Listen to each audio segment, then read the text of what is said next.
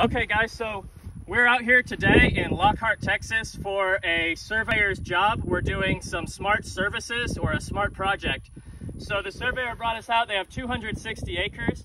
We've got a ton of mesquite vegetation that would be a nightmare to have to walk through. We're here at a high point set up where we can view the drone flying.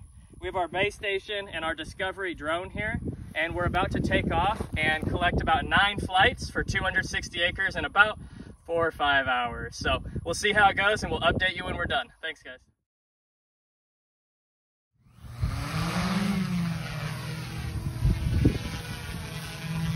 All right guys, so the Smart Drone Discovery is going up for its last flight. After this flight, we'll have collected our 260 acres. We've collected a little more than that today. Um, the customer's crew came out and we showed them all about the drone. After this, we're gonna submit our base station point to Opus. We're gonna get our Opus corrections and then we'll be reprocessing all the data with our Opus corrections and delivering that to the customer. Um, we're gonna be processing it with Smart Drones one click, unlimited self-service processing. So what this software does, it does about 80% of any kind of job you could think of vegetation filtering, getting the surveyor the ground shots that they need. So we're gonna be using that software to deliver this product to the customer for our smart projects. Thank you.